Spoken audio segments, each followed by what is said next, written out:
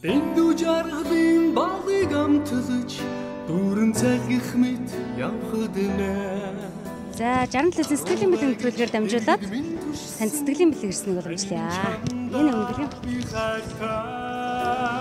Хүсэл мөрөөслийн тэнгэр ардж өргөн зүрхэндээ цагих хөдөлгөөн. Ингэртэн үлдсэн.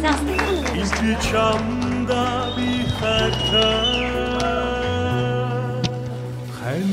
Хатуу орвоогийн номон та байг, халамжит бүсгүйн хайрн та байг, инхрийн үрсийнхээ бахархлан та байг, энэ улсынхаа эзэн нь та байг, төрийн сүлдээ тэргүүндээ залсан тангараг өргөсөн цэрэг эр чамда зэвсэг төчний 327 дугаар ангийн үлээвэр найрлагч үүсэн байгуулагдсны түүхт 25 жилийн ой, за удахгүй болох Монгол цэргийн өдөр Орчин цагийн зэвсэг төчний 102 жилийн ойн баярын мэндийг давхар хүргэе. Ажилд нь амжилт хүсье.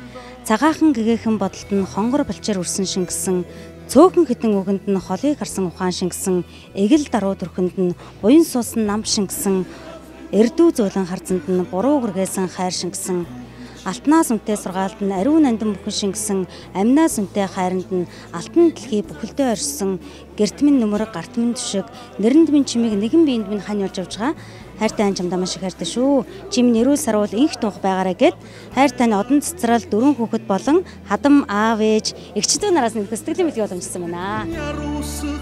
Хонгор чамдаа би хайртай.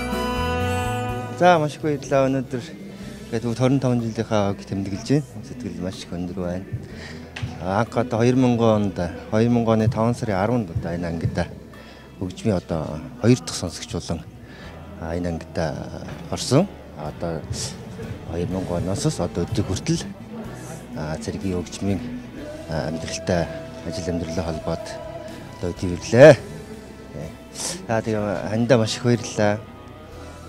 Ээж аав нартай баярлалаа, өр хүүхдтэй баярлалаа. Тэгээд 327 ангийн өдөрлөг болон ангийнхаа нийт хамт олонд аа үлээр найруулах хөгжим үүссэн байгуулагдсны 25 жилийн түүх таан баярын мэндийг хүргье. Хайнда хайртай шүү. Маш их баярлалаа. Баярлалаа. Тэгэхээр энэ сайхан сэтгэлийн бэлэг авсан баярын мэдрэмж нь ямар вэ? Оо өндөр байна. Ингээд ороод нэг дэстэ сонсон. Гинтих байлаа. Анда маш их хайртай шүү л гэж. Зэргүүний арга гэр бол бүхэлд нь одоо ажлыг ойлгож дэмждэг байх тийм ээ. Ханийхаа тухай ярихгүй юу? Нэ миний энэ сайхан дөрөв хүүхдийн төрүүлж өглөө. Өөрөө цэцэрлэгийн багш хийдэг. Хоёулаа л ер нь тэгэл өглөө гараал ороо уулзна. Яг миний ард талыг маш сайн авч явдаг. Намайг дэмжиж ажилдаг. Би дээр үнэхээр талаар л. Ер нь миний анийн аав ээж бүгд зэрэг хүмүүс. Тий. Тийм болохоор бүр илүү ойртот мэддэг, ойлгодог. Баярлаа. Баярын мэнд төргий. Сайхан баярлаарай.